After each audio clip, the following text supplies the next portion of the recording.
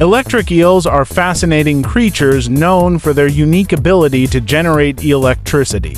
Despite their name, electric eels are not true eels. They are more closely related to catfish and belong to the genus Electrophorus.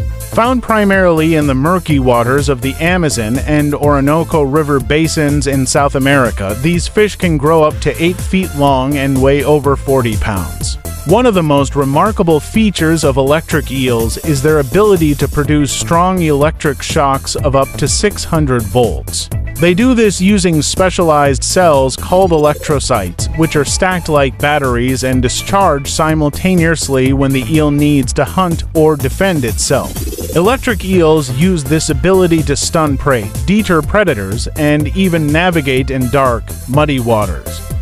Electric eels can also emit weaker electric pulses for communication and environmental sensing, a system known as electrolocation. They breathe air through a vascularized mouth lining and must surface regularly to survive, as they rely more on atmospheric oxygen than gills. These incredible fish are living proof of nature's electrical engineering, blending biology and physics in a way that continues to fascinate scientists and nature enthusiasts alike.